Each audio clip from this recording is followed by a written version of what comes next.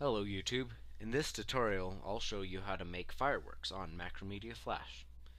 First of all you need to open Macromedia and create a new Flash document.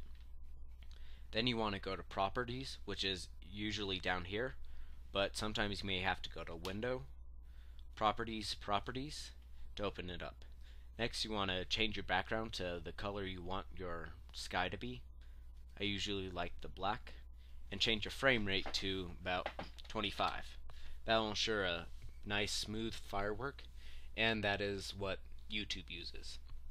Now you want to go to File, Publish Settings, Flash, and change Flash Player 8 to Flash Player 6 because for some unknown reason the fireworks only works on Flash Player 6. Once you have that done you can start on your particle. Um, I usually have nothing for the the pencil. You just click on the pencil and click this cross. And for the paint bucket I have a this. By going to color mixer which is located at Windows color mixer you can um, usually you can change what your particle will look like. I have the blue right here set at 100% and on this side it's still blue and it's just set at 0%. Once you have that done, you can draw your particle. You want it kind of small, but still big enough for you to see. Then you want to double, um, you want to right click on it, convert to symbol, and type in bang. And then push OK. Make sure it's at movie clip though. Once that's done, you want to double click on it um, you want to center it by moving it over using using the arrow keys. You may have to zoom in.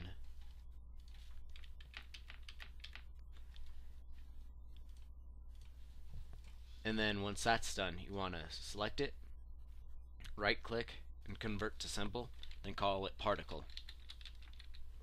And then push OK and once you have particle done, um, you want to go to properties and type in particle as its instance name. And make sure that it's spelled correctly and that it is all lowercase because the actions is case sensitive. Once you have that done, you want to right click the first frame, go to actions, and copy and paste this down. Don't worry, it'll be off to the side, so you can just copy and paste it. Next you want to double click on it ag again.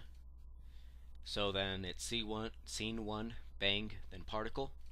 And then you want to right click, convert to symbol, and call this particle 2. And then push OK. You want to center it uh, again to this little crosshair. Zoom in to get the exact location.